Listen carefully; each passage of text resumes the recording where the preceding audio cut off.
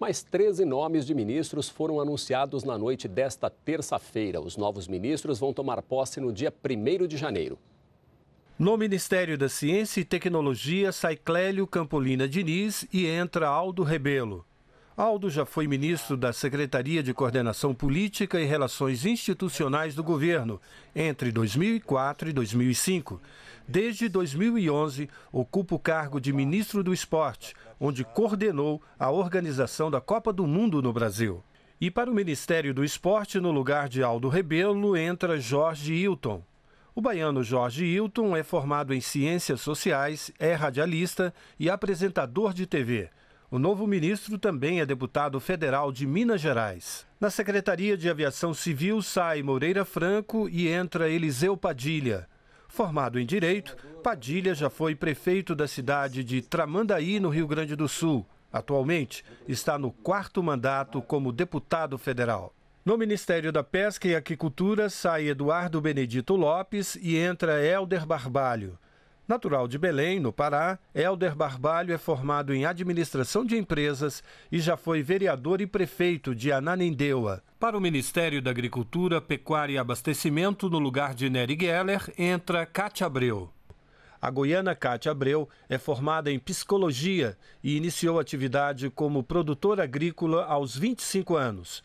Kátia foi líder do Sindicato Rural de Gurupi e presidente da Federação de Agricultura de Tocantins. Atualmente é presidente da Confederação Nacional de Agricultura e também é senadora pelo estado de Tocantins. No Ministério de Minas e Energia sai Edson Lobão e entra Eduardo Braga. O paraense Eduardo Braga é formado em engenharia elétrica e já foi vereador, prefeito, deputado federal e governador do Amazonas desde 2011, é senador pelo Estado. Para o Ministério da Defesa, no lugar de Celso Amorim, entra Jacques Wagner. Jacques Wagner cursou engenharia civil e trabalhou na indústria petroquímica de Camaçari, na Bahia. Nos anos 80, presidiu o Sindicato dos Trabalhadores da Indústria Petroquímica e foi fundador do Partido dos Trabalhadores. Deputado federal por três mandatos, foi ministro do Trabalho e Emprego e da Secretaria de Relações Institucionais do governo do presidente Lula. Jacques Wagner também foi governador da Bahia por dois mandatos. Para a pasta de educação sai Henrique Paim e entra Cid Gomes. O cearense Cid Gomes cursou engenharia civil. Já foi deputado estadual, prefeito da cidade de Sobral e, em 2006, foi eleito governador do Ceará, cargo para o qual foi reeleito em 2010. No Ministério da Cidade sai Gilberto Ock e entra Gilberto Kassab. Natural de São Paulo, Gilberto Kassab é formado em Engenharia Civil e em Economia. Já foi vereador, deputado federal, vice-prefeito e prefeito de São Paulo por dois mandatos. Atualmente é o presidente nacional do PSD. Na Secretaria de Portos sai César Borges e entra Edinho Araújo. Formado em Direito, Edinho Araújo é natural da cidade de Santa Fé do Sul, em São Paulo, de onde foi prefeito e deputado estadual.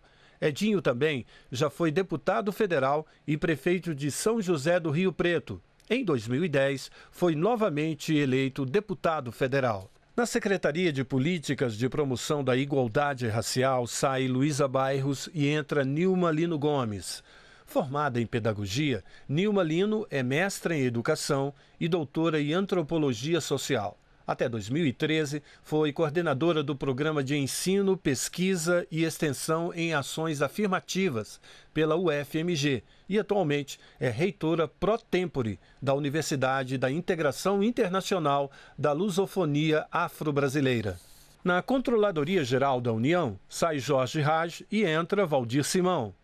Secretário executivo da Casa Civil, Valdir Simão foi coordenador do Gabinete Digital da Presidência da República e presidente do Instituto Nacional do Seguro Social. Já no Ministério do Turismo permanece Vinícius Lages.